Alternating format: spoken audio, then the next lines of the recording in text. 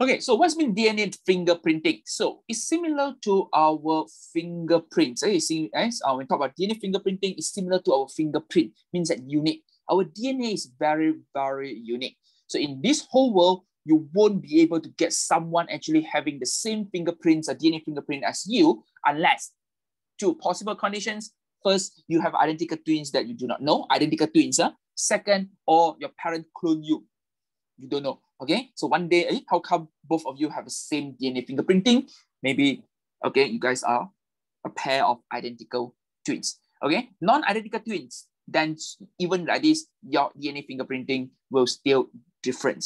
Okay, so also known as this uh, DNA profiling, is a process to determine the individual DNA characteristics, which is unique, same as our fingerprints. So where we apply this, we apply the criminal investigation, for example, the dead body, okay, the dead body, so we don't know what's identity, correct Or you want to know, I mean, for example, dead body, I mean, uh, identified already. So you call for the, I mean, uh, those uh, parents of those uh, family member, and then we want to check whether it's correct or not. Then we can use this. Or we want to determine the suspect, right? So criminal investigations, or parental testing. Parental testing basically means that one day someone realized that father blood group AB, mother blood group O, and him A uh, O. So it means that something's wrong. It can either be A and B only. It can be cannot be O. So you can go for the parental testing in this case. Okay. So we have two techniques. We have two techniques. One is O techniques in the syllabus. Okay, O techniques. This technique is known as the RF LP. It's not eh, or in uh the full terms is called restrictions fragments length polymorphism. And this process actually we use restrictions enzyme to do this. And we do know that restriction enzyme recognize a particular, okay, restriction enzyme recognize a particular regions of the, uh, the allele, okay, I mean the restriction site there. So if let's say any mutation take place in the allele, then we will be able to use the restriction enzyme to cleave it or actually uh, produce a different fragments. And then we can separate this fragment by using the agarose-Gel electrophoresis like what we have learned before. So let us look at this, uh, a quick one.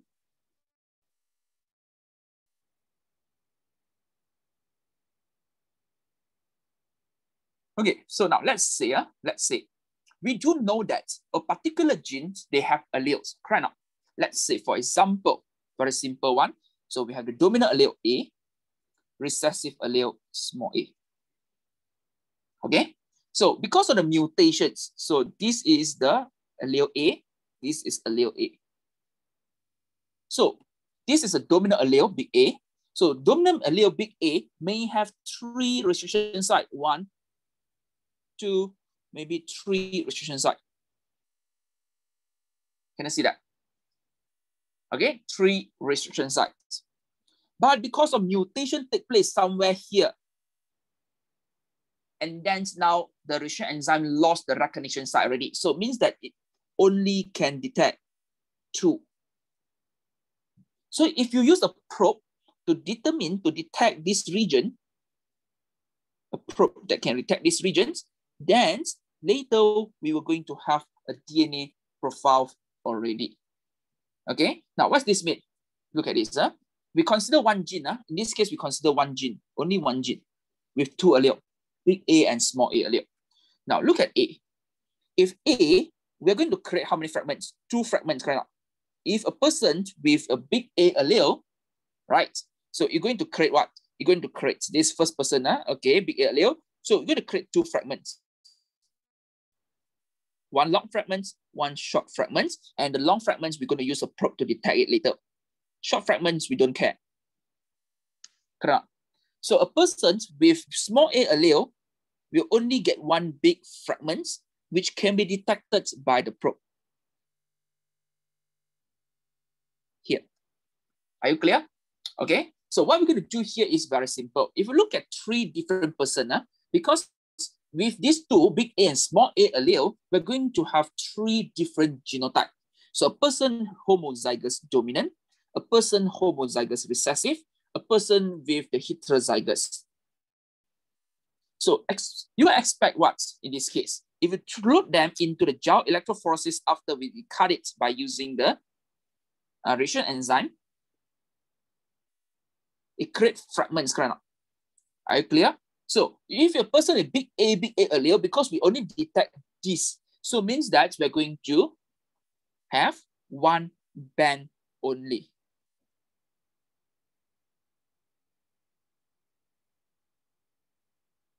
Correct Individual with small a, small a allele will be this, right? The full length. So longer, so means that move slower. You only see one band. Correct We consider one gene, huh? we consider one gene. Okay? And then person with heterozygous, what will happen? The person with heterozygous, you're going to see two bands. Because heterozygous, big A, we detect a smaller here fragment. A person, I mean, uh, sorry, a recessive allele longer. So you can see that three different patterns already. With one gene, I have three different patterns already. So if you consider about 20 genes or more than that, you will create a very, very unique banding pattern, which represent each individual. Are you clear? Okay, will represent different individual. For example, if let's say I include now, okay, I include B and B, okay? So B longer, for example, okay? Then restriction enzyme, eh, another restriction enzyme may be detect here and here, okay? And because of mutation take place, it create a new restriction sites here can be recognized. Then you can see that the banding pattern different. So when you combine all those data together, you will create a very unique pattern ready. So this unique pattern, it will represent a particular individual. Because if you look at this, how many? In this case, we're going to create 16, okay, uh, different kind of genotypes. You can have big A, big A, big B, big B. You can have big A, small a, big B, big B. So you can have so much of possibility. Definitely you create different banding patterns. The more gene you include, you give us the banding pattern that allow us to do what? Parental testing. Later we'll look at the result and also the criminal investigation. Are you clear? Okay. Uh? Any questions so far, guys? This is the first, uh, the oldest, the traditional way to do this more tedious because sometimes certain genes we don't be eh, we won't be able to use the restriction enzyme to cleave it because we don't have the particular restriction site. Okay, uh? so let, us look at analyze uh, analysis here. So DNA is collected from the cells and we can cut it into small pieces using the restriction enzyme. And because DNA, we have two copies, right? We have two copies for a particular gene, and it depends on whether it's homozygous, heterozygous, or homozygous recessive there are some variation between this DNA sequence that can be recognized by a restriction enzyme.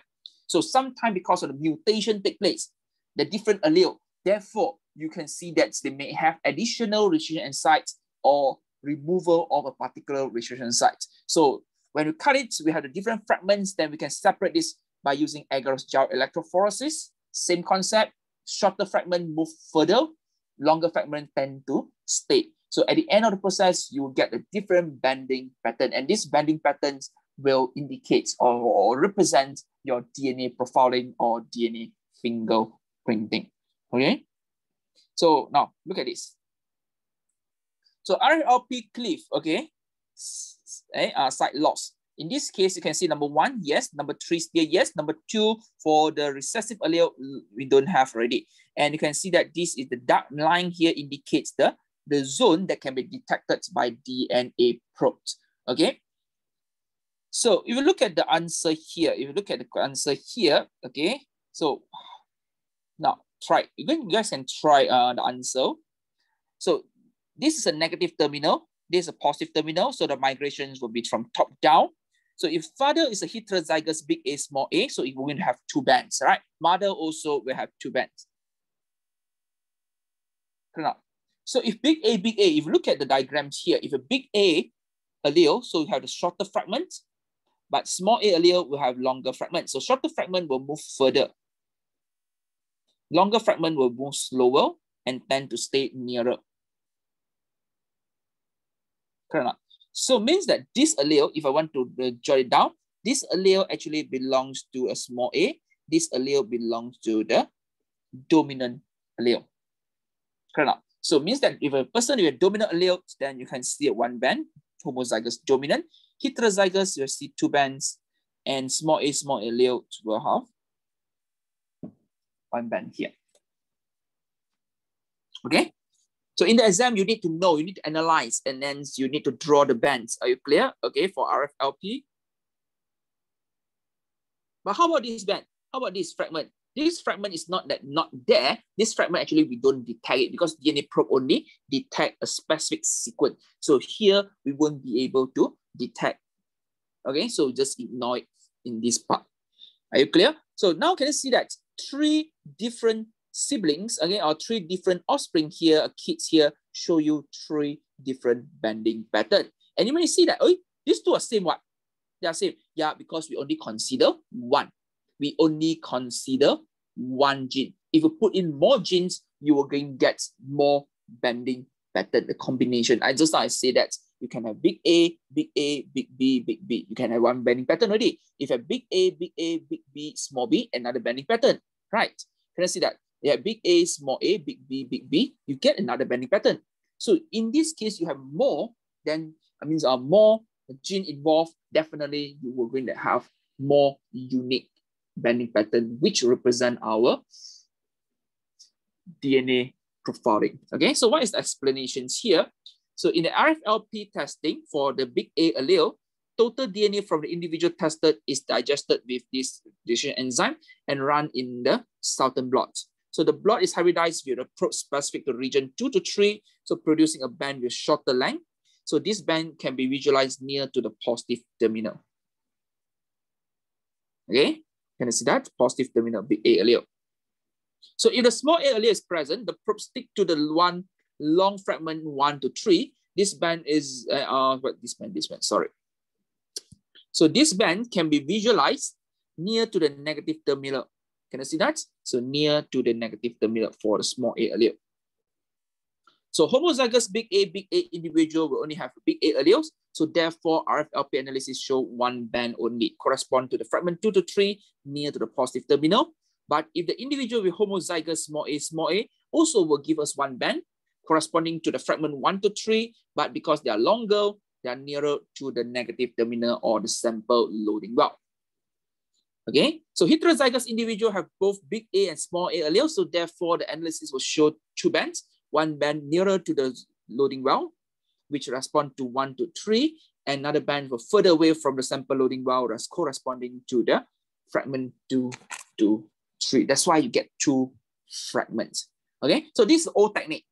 Okay, this old technique require more DNA sample. Sometimes we won't be able to do it because of the limitations in terms of our restrictions enzyme. So restriction enzyme may not be able to cut it out, okay, because we don't have that particular restriction site. So old technique, okay. So now the new techniques uh, developed by looking into this, what we call the variable number tandem repeats, okay. We're looking at this variable number tandem repeats or short tandem repeats. So what are the differences or what is the, the, the main difference here is variable number tandem repeats is a big group. So means that any repeats in our DNA, we name them as a variable number tandem repeat or VNTR. But out of so many variable number tandem repeat or VNTR, some they actually repeat with a small, a, short sequence. Let's say, for example, ATCG, ATCG, ATCG, about a four right, nucleotides repeat. So in this case, we call them, we give them a special name called short tandem repeat. Are you clear? So basically it's something like this. You have, let's say, for example, you have AAA, AAA, TCC, AAA, AAA, TCC. So this one, you can see that, okay, longer, nine nucleotides.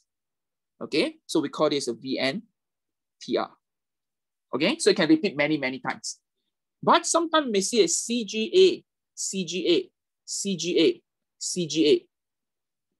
This one short repeat.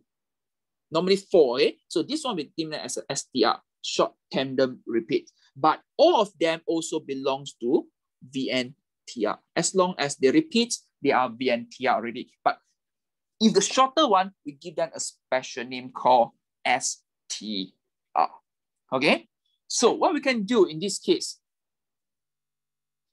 this STR found at what we call the non-coding region. If you look at our DNA, only about 3% code for the polypeptide and the protein. So the remaining one, actually they keep on repeating.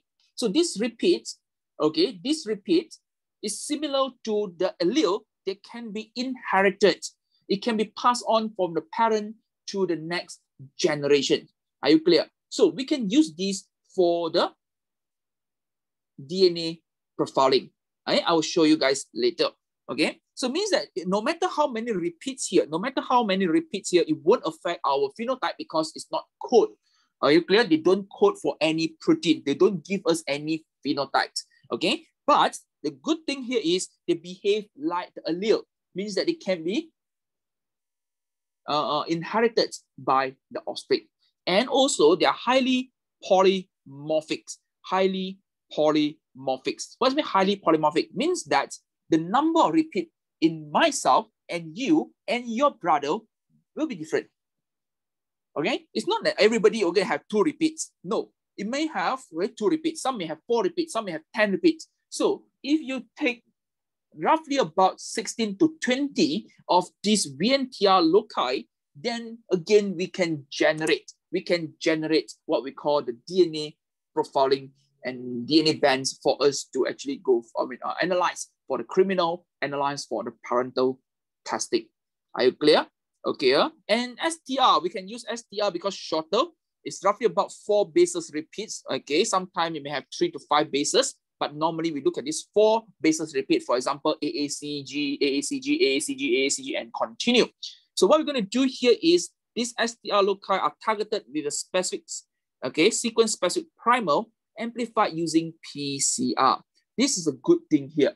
Why? Because even though we don't have the, uh, even though we don't have this, uh, what we call this, a reaction enzyme, doesn't matter, we can use a primer, bracket out that particular uh, region. When we bracket out the particular regions already, then we can separate them by using gel electrophoresis, detect by using that particular DNA probe again. Then it will give us the banding pattern.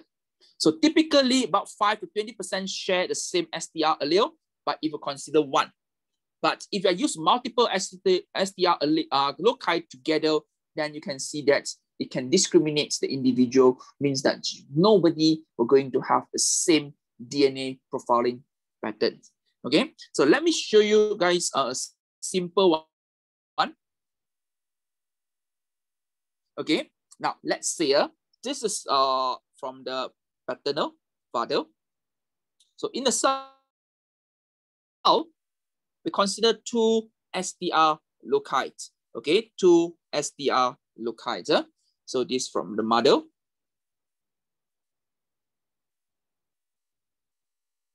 Let's say we look at the chromosome one. So we have a pair of chromosome one. Okay, a pair of chromosome one. So chromosome one, let's say chromosome one at STR there. Okay, so the father, let's say we check the STR nine time repeat. Chromosome number one for another one, if we check, oh, slightly shorter, eight times repeat. Okay, then we check for chromosome two, the STR from chromosome two. Okay, three time repeats. Oh, we check 10 times repeat. Can I see that? Are you clear? Okay, 9, 8, 3, 10. So at the maternal, also check chromosome 1. Okay, so in this case, you check, oh, six time repeat.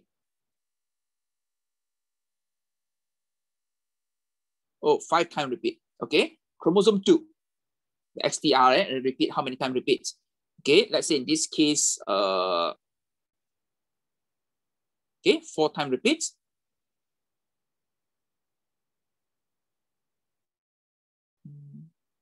Okay, seven time repeats. Okay, lah, I make up eh, the, the, the, the number easier for us to understand.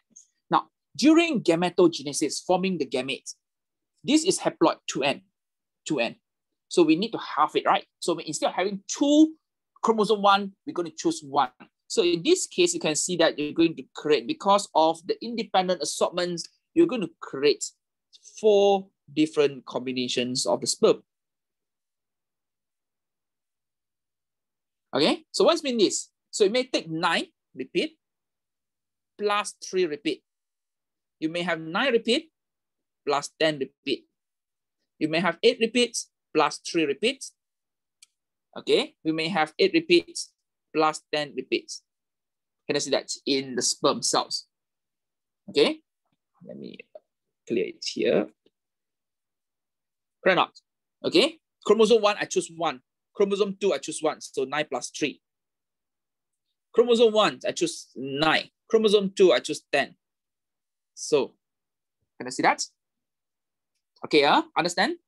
Consider two only, uh, consider two. Now, how about this? In the ovum,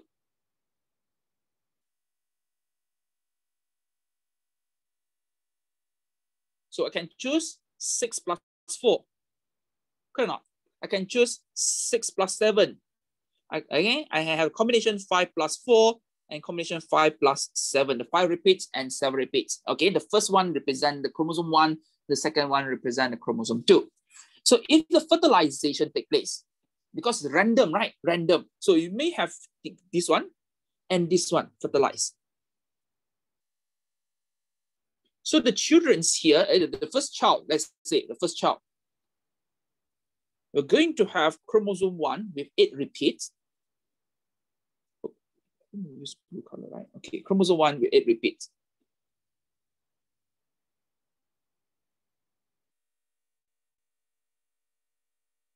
And then uh, another one is six repeat. Okay, and then chromosome two with three repeats. And also seven repeats. So now what we're going to do here is, okay, as slow, uh, we're going to use a PCR to cleave out this region. Okay, using a primer, we can cut it out.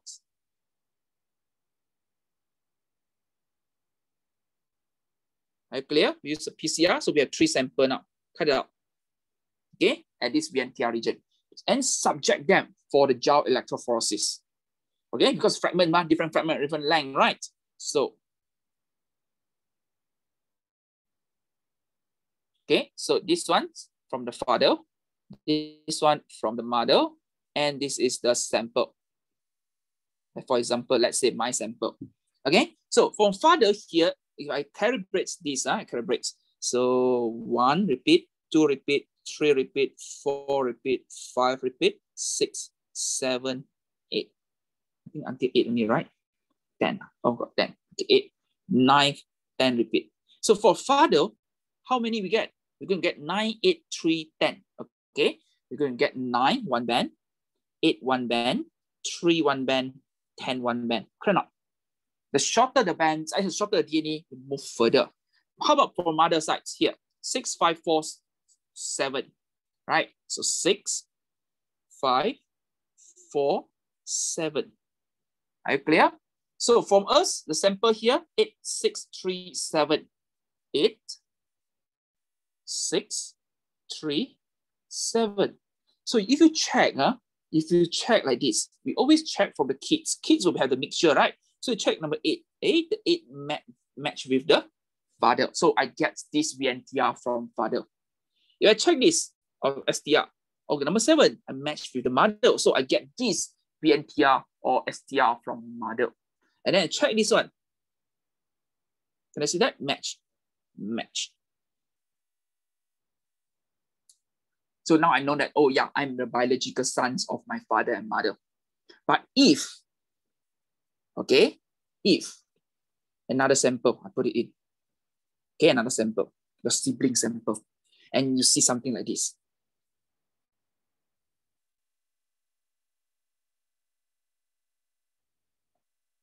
Okay, sibling sample. And you say, hey, this one, yeah, match with the mom. Turn out. This one, match with the mom. Hey, these two, Can you see that? Are you clear? Your sibling, maybe your eh, elder brother, for example. Okay, so in this case, why? So it might be adopted one, or, or sorry, it's the step brother, your step brother. Can you see that? Okay. So anything if, uh, if you if you if you realize something like this, okay, always check with the mother first. Mother will know more.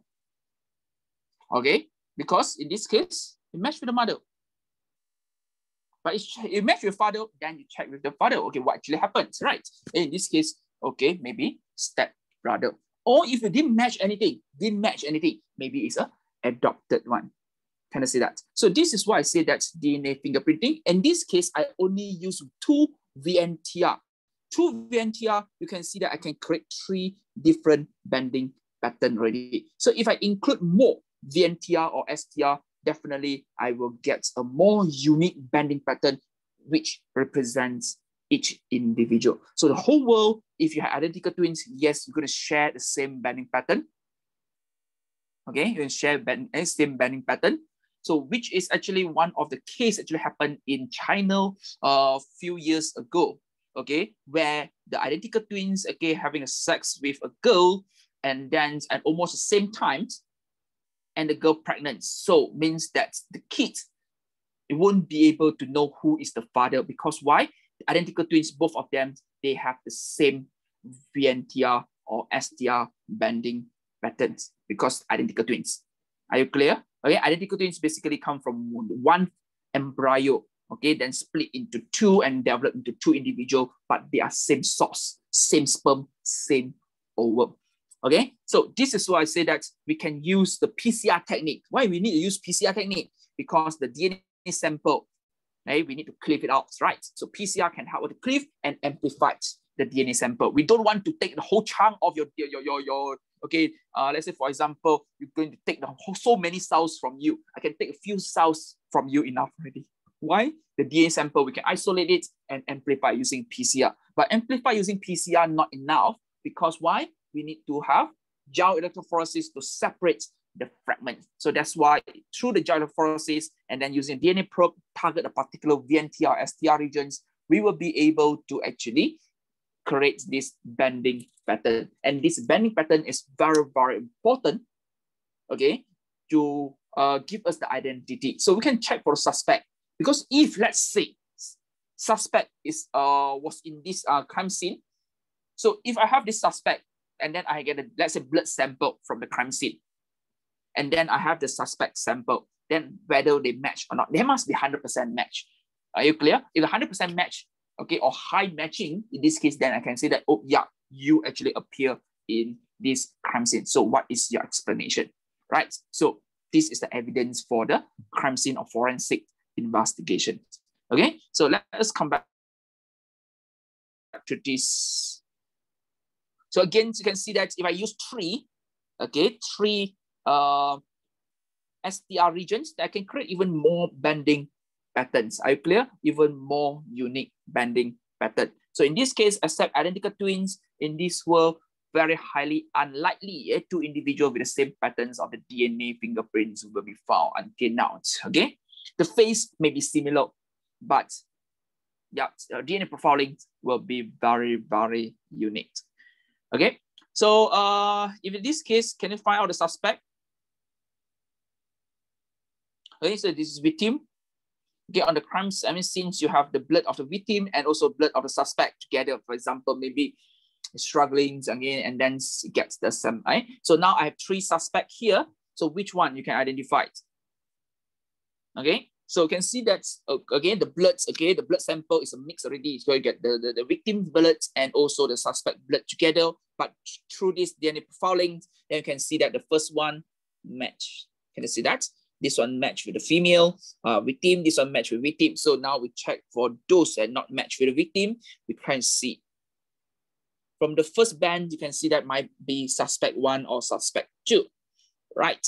And then you look at this one, it match with the suspect two only, and this one match with suspect one and suspect two. But because of these bands, I can very sure that say that suspect two is the one that in the crime scene. Might not kill, I don't say 100% kill, but this person confirm 100% appear in the crime scene. Okay, so answer suspect number two, eh, most likely. Okay, yeah. Then the fingerprints uh, in the paternity, uh, uh, paternity uh, parental testing, you want to see who is the father. Then what you're going to do here, we always get the child. Okay, so you can see that the first one don't know, but second I mean uh, match with the mother. Third one match with the model, The last one match with the model. Okay, so don't do oh yeah this one no hair, so it must be no hair, but we had to check right whether match or not. So in this case, you can see that yeah it might be first band it might be that number two or that number three. We don't know yet. Then we continue to analyze.